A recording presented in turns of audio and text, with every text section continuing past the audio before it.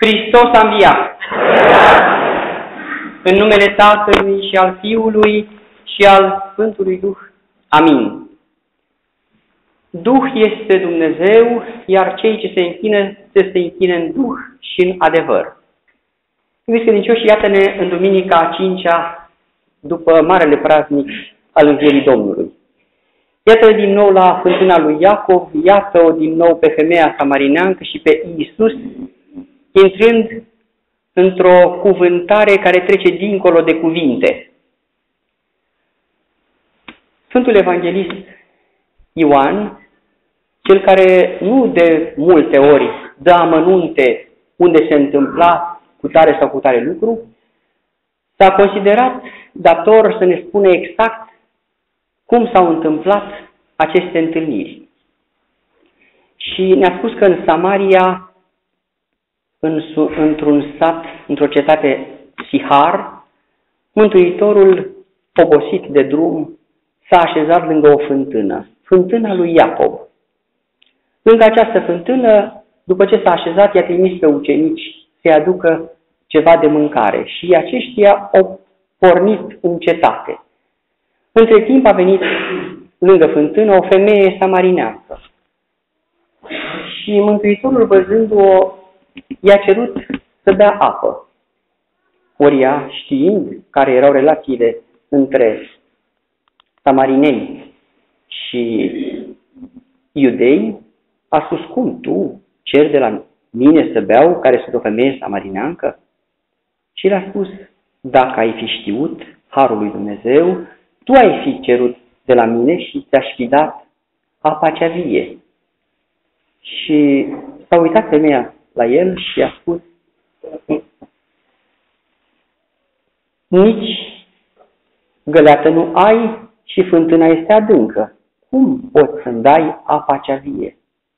Și atunci a început un joc de cuvinte. A început o convorbire dincolo de ceea ce se auzea și anume femeia samarineancă a început să-l întrebe ce este cu această apă vie. Mântuitorul i-a spus că cel ce va bea nu va mai sta niciodată. Femeia care probabil că de multă vreme căra apă a tradus-o așa cum traduc de și toate femeile din ziua de astăzi și toți bărbații. Imediat, într-o, într-un avantaj, a zis, Doamne, ce bine ar fi să am apa aceasta, să nu mai vin aici să car. Vedeți până unde merge mintea omului. Imediat când îl vede pe Dumnezeu, îi cere lucruri pe care să le folosească imediat. Și după ce află că această apă vie, într-adevăr, o face să nu mai înseteze niciodată, îi spune, bine, bine, dar uh, voi, iudeii, vă închinați în Ierusalim și noi ne închinăm aici la fântâna lui Iacob și credem în această fântână pentru că din ea a băut Iacob însuși și fiii lui și fiicele sale și turmele lui. Și atunci Mântuitorul spune, adevărat sfinție că vine vremea și acum este când nu vă veți mai închina lui Dumnezeu nici în Garizim, nici în Ierusalim, căci Duh este Dumnezeu și cei ce se închină, se închină în Duh și în adevăr. După ce Mântuitorul a spus atâtea, ea a trimis-o pe femeie să vină să-i dea apă, dar să vină și cu soțul ei. Și a spus aceasta, nu am soț. Și le-a spus, bine spui că cinci bărbați ai avut, iar cel care îți este acum nu ți este bărbat. Și atunci femeia i-a spus, tu ești proroc, tu le știi toate. Și a plecat în cetate și a spus toate câte auzite de la învățătorul. Și au venit toți la el, între timp au venit și ucenicii, și văzând că nu cere de mâncare, se întrebau în ei, oare nu cumva i-a dat cineva să mănânce? Și Mântuitorul, cunoscându-le Duhul, cu Duhul, gândurile, le-a spus, mâncarea mea este să fac voia Tatălui care m-a trimis.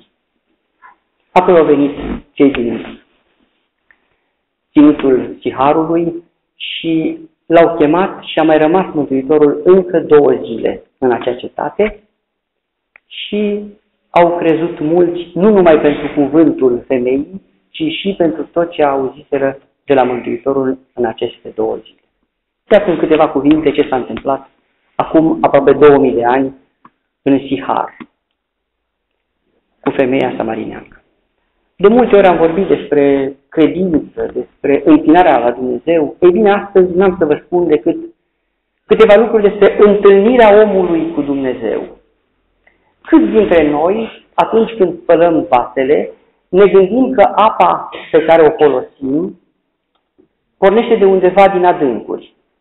Cât dintre noi nu am fi mai atenți dacă am căra vreo 2-3 km o găleată cu apă cu care să spălăm niște vase? Cât dintre noi se problematizează spunând, mă, am consumat prea multă apă? Nimeni trebuie să recunoaște. Mie unuia mi-a dat Dumnezeu bucuria să mă nasc mai de mult. Și știu ce înseamnă să cari apă, știu ce înseamnă să economisești apă, știu ce înseamnă să speli un lucru cu apă fără să fie nevoie să-l clătești prea mult. Când se spălau vasele la țară înainte vreme, se spălau decât în două ape, prima și a doua apă. Vă veți întreba, bine, bine, dar spuma, îl clăbuc, cum se ducea? Păi, fraților, de nisip nu este clăbuc niciodată. Nisipul era detergentul de bază. Acum, de fiecare dată când mă duc la robinet și spăl o ceașcă din care am băut o cafea, mă gândesc ce ar fi însemnat ca eu să car de la 2-3 km apa respectivă. Și să știți că în acel moment mă podidesc amintirile plăcute, vine peste mine copilăria, vine peste mine grija că apa nu trebuie să fie risipită. Dar vedeți, dacă nu facem un efort, această apă se duce. Dacă nu facem un efort să o aducem de departe, ni se pare că este normal să o avem la robinet. Lucru care nu este atât de normal. Și revenind la tema de astăzi, iată că Dumnezeu ne face întâlnirea cu apa mult mai confortabil decât o făcea altădată. După cum o face și în ținutul Sihar cu femeia care a venit la fântână. Iată că Dumnezeu din adâncuri se ridică, dar să vedem ce facem cu Dumnezeu de sus care se coboară. Îmi aduc aminte că Părintele Asenie spunea, Tată, nu te mira de Dumnezeu că este așa mare când te uiți în sus. Să te miri atunci când este mic și se coboară la tine.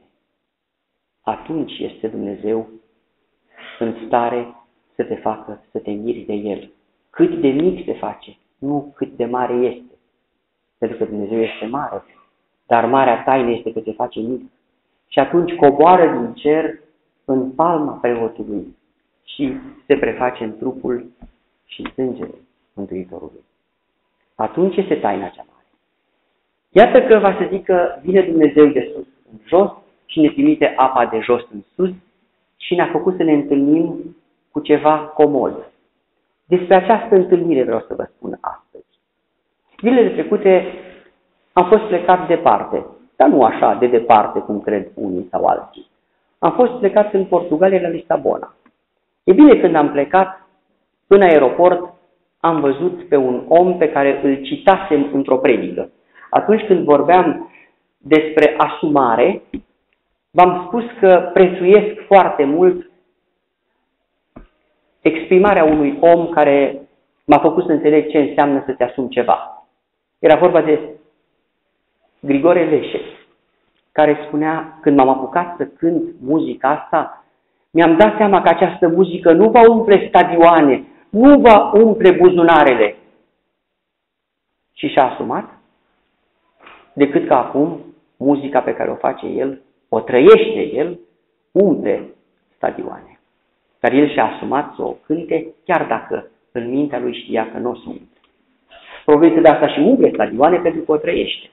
E bine, când am văzut eu omul acesta, trebuia să-i spun într-un fel, măcar să-i cer drept de autor, că nu sunt un plagiator. Nu mă mulțumea faptul că v-am spus din cine am citat. Dacă l-am văzut, vă imaginați cât mă furnica pe mine să-i vorbesc măcar câteva cuvinte, să-i mulțumesc pentru ceea ce am învățat din trăirea muzicii pe care o face el și m-am învârtit. Nu știam nici măcar în ce direcție pleacă. m-am învârtit și l-am văzut stând la o masă. După ce îi făcusem loc prin mulțime, s-a dat la o parte foarte modest și foarte atent cu ceea ce se întâmpla în jur. Și mi-a fost teamă să nu-l deranjez. Mi-a fost teamă ca intervenția mea să nu fie ca altora care vor să se bage în seamă, cum zice românul. Mai ales generația acestea mai tinere știu ce înseamnă acest lucru, să te bagi în seamă cu cineva. Adică cineva care nu are nevoie să vorbească cu tine, să te bagi în seamă cu el. Și a zis, Doamne, asta e, dar mă țin după el. S-a așezat din nou, am așezat și eu lângă el la o masă cu niște prieteni mei. Tot mă mâncau tălpile să mă duc să îi spun câteva cuvinte, numai să-i mulțumesc. Și când să mă ridic, m-am gândit că eu știu mai bine decât foarte mulți dintre dumneavoastră ce înseamnă să nu respecte nimeni intimitatea. Știu ce înseamnă să mergi în magazine și să pună mâna lumea pe tine și să te întrebe diverse lucruri și dacă n-ai agenda la tine trebuie să improvizezi imediat niște date pe care să le ții minte apoi ca să le treci în agenda. Știu lucrurile acestea și am zis, bine, pentru aceasta trebuie să mă respect și pe mine, dar și pe el. Și am rămas suspendat. Și totuși nu mă lăsa conștiința să nu-i mulțumesc măcar atât. Să domnule, uite, eu sunt unul care am vorbit despre ta, te-am citat, dar trebuie să-ți mulțumesc personal. Și când să mă apropii ultima dată, mi-am adus aminte de ceea ce v-am spus și dumneavoastră, când prefericitul Teoctist a fost întrebat de ziariști ce părere aveți de ce a zis Papa Benedict al XVI-lea că singura biserică este cea catolică. Și el nu s-a încurcat și s-a raportat la Dumnezeu și a spus nu știu dacă i-a plăcut lui Dumnezeu ce a zis Papa. E bine, am zis așa, Doamne, nu știu dacă voi mai întâlni omul acesta vreodată în viață. Dar vreau să mă încerci. Și în acel moment m-am gândit că lui Dumnezeu s-ar putea să nu-i placă să mă duc să-l întreb pe bietul om, așa tam nesam cei cu el, dar am lăsat o portiță deschisă și am zis, dacă e, arată-mi tu ce părere ai, că vreau să stau de vorbă cu omul acesta. Între timp, prietenii mei și-au împărțit locurile pe acolo și cineva care știam că are un rău de avion avea un loc mai în spate. Și zic, uite, e alb al meu, că eu stau mai la mijlocul avionului și zic, e mai ușor să pleci pe loc, e mai simplu. I-a dat biletele lui, eu cu soția plecăm să ne luăm locurile. Marea noastră surpriză a fost că fratele Grigore Leșe era în autocar cu noi. Adică mergeam pe același avion, clar. Adică măcar să apropie. Noi urcăm pe o ușă, Grigore Leșe pe cealaltă, noi, bineînțeles că am prins o aglomerație și când să ajungem la locuri, cine credeți că stătea pe al treilea loc? Noi aveam două. Grigore Leșe. Răspuns pentru mine la întrebarea dacă îi place lui Dumnezeu să stau de vorbă cu omul acela. Și mi-a răspuns că îi place. Acum, îi place lui Dumnezeu. Da, lui fratele Grigore îi place. Acum, dacă și-a bărăgat în vorbă cu mine, nu degeaba ce vrei, nu vrei, vrei Grigore aghiazmă. Așa că, frate Leșe, asta este. Te-ai întâlnit cu mine. După cum l-am văzut, am zis nu cumva să stea săracul cine știe, pe, că ispita e mare, unde m-a dus mintea? Nu cumva să fi încurcat locurile, să mă bucur eu degeaba. Diavolul e foarte atent să-ți întindă curse. Zic, gata, să nu scap acum că stau lângă el. M-am așezat, frate Grigore, zic, mulțumesc, uite așa, așa, v-am folosit într-o cuvântare de-a mea. Nu i-am zis că sunt rău, nu i nimic la început. Uite, așa, așa, am apreciat foarte mult că v-ați, v-ați asumat faptul că veți cânta și veți învăța să trăiți o muzică ce nu vă umple stadioane. Și da, da, da, eu am zis, eu am zis, da, da, eu am zis. Și din acel moment cred că l-am cucerit. Pentru că am început să intrăm în niște discuții care au durat trei ore și jumătate cât mersul avion. Atât m-am încărcat de lucrul acesta încât mi-am dat seama că Dumnezeu, când vrea să întâlnească doi oameni, o face. Așa cum a vrut să se întâlnească astăzi, la fântâna lui Iacov, cu Samarineanca, așa m-a lăsat și pe mine să trăiesc întâlnirea cu cineva. Și uitați-vă că vin acasă și găsesc pe Mântuitorul întâlnindu-se la fântână. Acum era vorba de ceva altitudine, a vorbit Mântuitorul despre muntele Tarizim. Noi am mers în aer cam până la 11.900 de metri. Deși nu ai fost la înălțime. Am stat unul lângă celălalt, am stat. El a băut un par cu apă, bun și eu un par cu apă. Foarte multe lucruri asemănătoare și ne-am dat seama că Dumnezeu iubește foarte mult strădania, dar și respectă ceea ce îți propui să faci. Și, într-adevăr, de la omul acesta am învățat multe. Și când se apropia inevitabilă noastră despărțire, mi-am scos eu o cărticică cu Portugalia să scriu acolo eu câteva cuvinte, că cu ocazia primei mele plecări în Lisabona m-am întâlnit cu fratele. Și când scriam eu acolo, zic, dacă vreți să ne stați un autograf, ce, a, nu frate, stai așa, la mâna în tolbă. A scos un CD și mi-a scris pe el lucruri foarte interesante despre prețuirea pe care mi-a arătat-o vis-a-vis de această întâlnire, cu promisiunea că dacă va veni la Constanța, pentru că la Constanța nu cunoștea decât de vreo două familii, acum cunoaște și pe a treia. A spus că nu se ne mai ocolească cum a făcut o altă dată și cred că va veni să ne arate și nouă cum se trăiește muzica. Pentru că în ultima vreme muzica nu se mai trăiește, muzica se execută. Și dacă nu o execuți cu 300 de decibeli, nu te bagă nimeni în seama. Imaginați-vă că el mergea să cânte nu românilor în Lisabona, ci portughezilor. Și mi-a spus, adevăratul om care vrea să transmită un mesaj este acela care se duce în mijlocul celorlalți să le cânte lor, nu a lor lui. Și spunea că își pregătise și un cuvânt despre imperii și despre foarte multe lucruri interesante, dar abia aștept să-mi povestească cum a fost, că dacă înainte ne dăjduiesc că Dumnezeu nu degeaba ne-a întâlnit.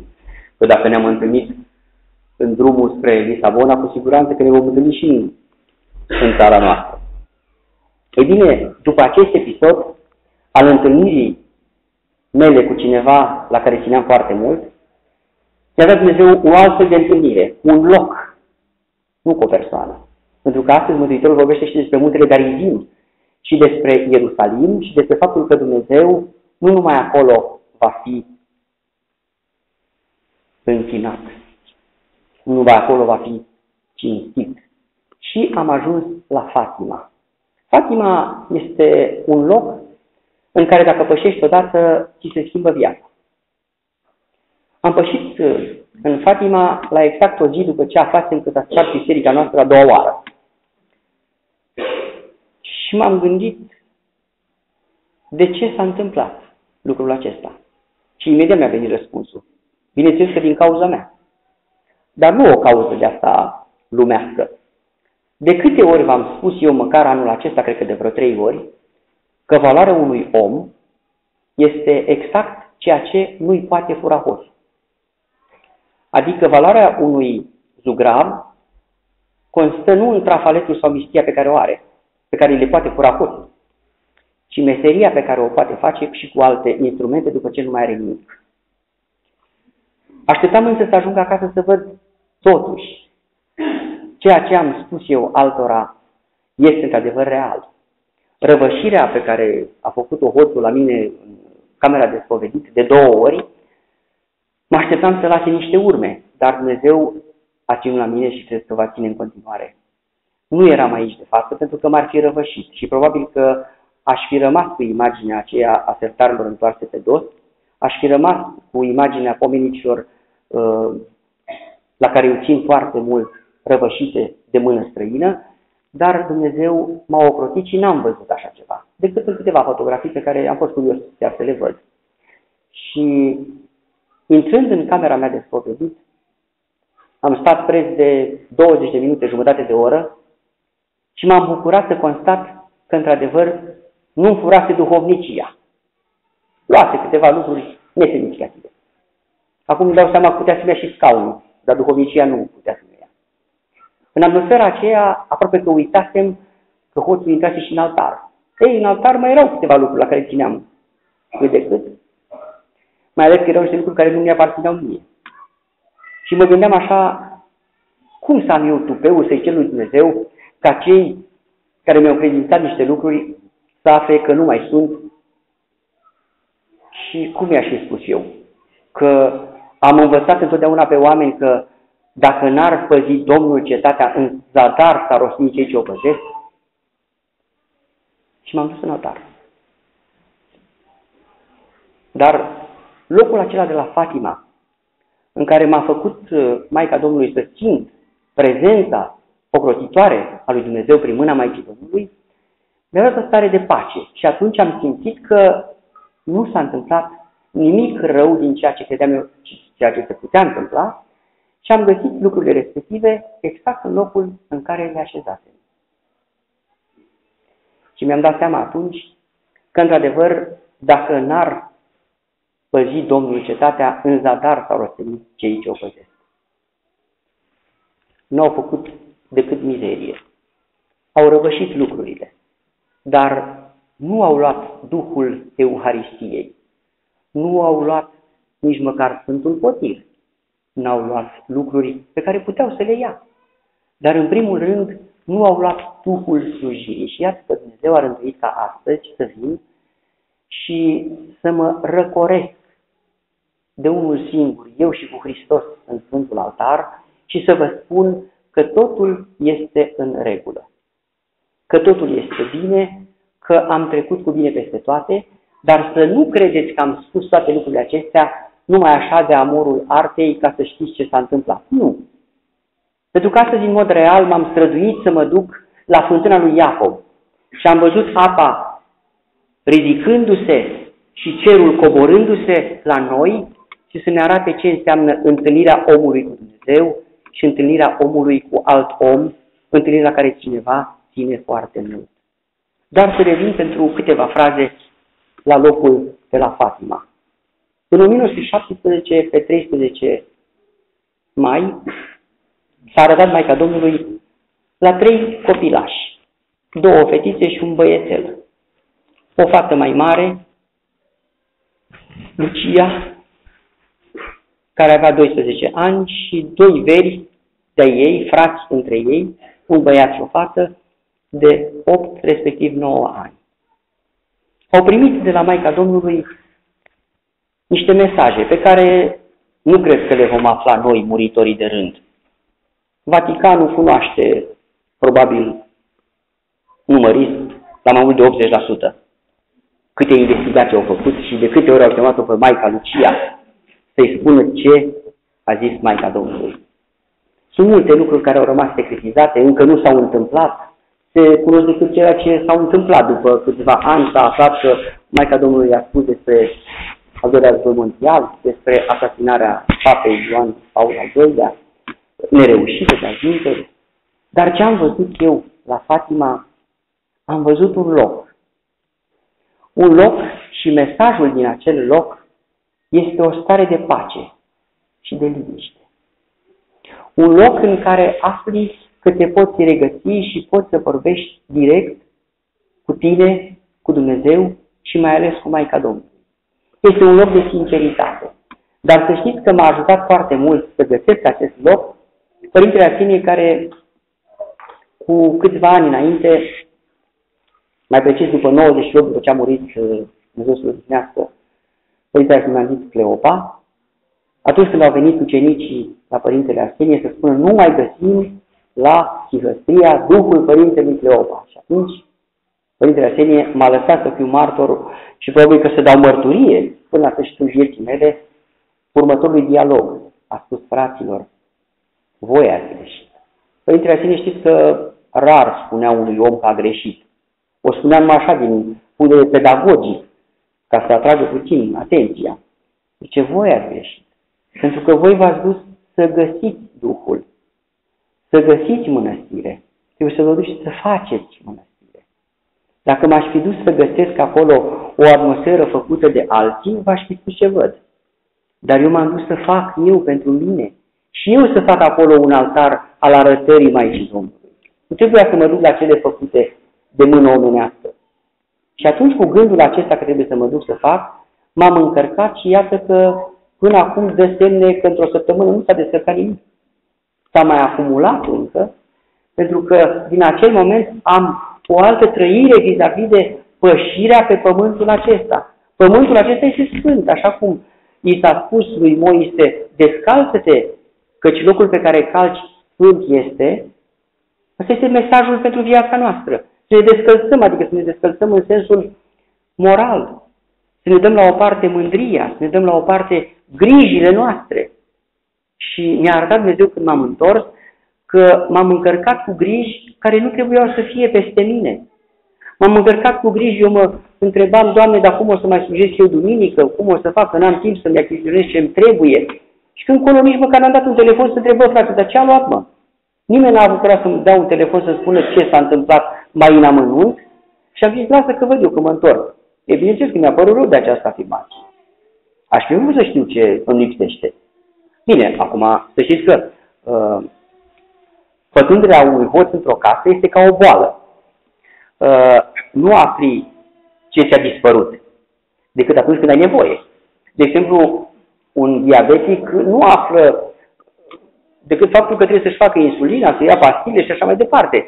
Nu află că inima e păducă decât foarte târziu, nu află că pancreasul e în pioneze, că ficatul e obotit. Nu, ăsta le află mai târziu. E, bine, nu sunt așa de nebun încât să nu bănuiesc că voi afla că au dispărut câteva lucruri. Dar esențial este faptul că sunt liniștit și mă rog la Dumnezeu să rămân liniștit și atunci când o să aflu că nu mai am putare sau putare. Dacă nu le-am văzut în primele minute, înseamnă că nu erau niște lucruri de care să am nevoie neapărat în toate minutele vieții mele. Înseamnă că pot să le locuiesc dacă te Dumnezeu. Și îmi aduc aminte din istoria Romei că Vespasian a primit uh, Roma de la înaintașul său Nero. O romă de lemn era în timpul lui Nero și a ars toată. Au rămas decât pietrele. Și la sfârșitul domniei lui Vespasian, Vespasian a zis, mulțumesc că am primit o romă de lemn și dau mai departe o romă de piatră. Niciodată nu știm cum lucrează Dumnezeu. Niciodată noi nu putem să punem în balanță ce este mai bine pentru noi. Când vedem câte o nenorocire, câte o apă mare, în urma căreia toate casele din, din chirpici, din toate materialele astea trecătoare, să duc la fund, rămân câteva așa mai răsărite după în betoane, atunci îmi dăm seama că tocmai pentru asta a venit acea apă, ca să scape vieții oameni de anumite lucruri care nu mai puteau să dureze. Iubiți credincioși, pentru că astăzi este întâlnirea Mântuitorului cu femeia samarineancă, ne rânduiește Dumnezeu ca mergând pe casele noastre să ne întâlnim cu noi înșine. Erau mai devreme, cu vreo o oră și ceva, două fetițe. Două fetițe pe care le-am împărtășit și erau foarte bucuroase de iepurașii pe care îi primise. Și mă uitam la ele și semănau așa de, de bine la diferența de vârstă cum erau fetele mele acum vreo 18-19 ani. Și mă gândeam unde sunt. Într-adevăr, nimic nu mai este ca ieri sau ca alaltă este. Trebuie să învățăm că trecerea din etapă în etapă ne învață că există înviere. Nu mai am fetițele acelea mici, de 2 ani și de 3 ani. Le am acum de 20 și de 22. E bine, mulțumesc. Dar, ori de câte ori văd copii la diferite vârste, în mintea mea stăruie tinerețea mea care se uita la fetițe la vârsta respectivă. Înseamnă că dacă am posibilitatea să înviez eu însumi de acum 18 ani, și ele au posibilitatea să învieze nu numai în mintea mea, ci în ele însele. De asta vă spun că în drumul spre casă să ne întâlnim cu noi înșine. Cine noi înșine? Noi, când eram copii și ne promiteam că vom face multe. Întâlnirea cu noi înșine, noi care am lăsat în urmă un copil care plânge că nu i-am făcut dreptate. Un copil care zicea, lasă că mă fac eu mare, uite că ne-am făcut mare. Și ce am făcut? Mergând pe casele noastre să ne întâlnim, am zis cu noi înșine, Pentru că Mântuitorul ne-a spus că nu numai aici la biserică trebuie să ne închinăm lui Dumnezeu, ci și spre casele noastre și oriunde, căci Duh este Dumnezeu. Iubiți credincioși, cu acest gând, dacă vom purce despre casele noastre să mulțumim Dumnezeu pentru faptul că ne-a ajutat să ne întâlnim unii cu alții.